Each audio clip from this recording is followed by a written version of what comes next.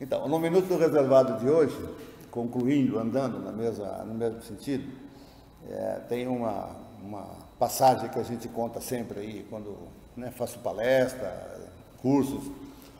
Numa cidade do interior tinha um vidente que ficava na praça vendo a vida de todo mundo, né? Ele sabia da vida de todo mundo, aquele vai morrer, passava outro, aquela moça vai engravidar e assim por diante.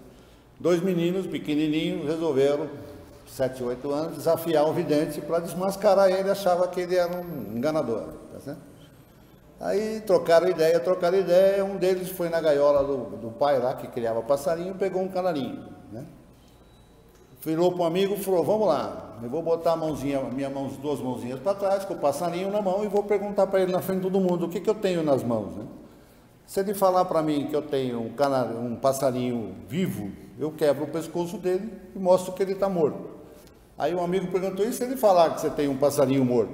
Óbvio, eu abro a mão ele sai voando. Né? Inteligente, né? Você não acha?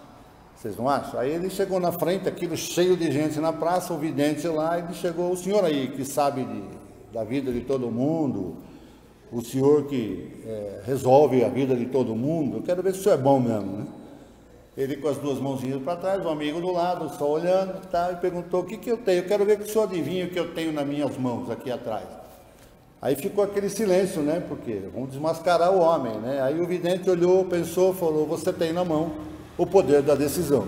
Se você quiser ele morto, tá certo? Você quebra o pescoço e abre a mão e mostra ele morto. Se você quiser ele vivo, abre a mão ele sai voando.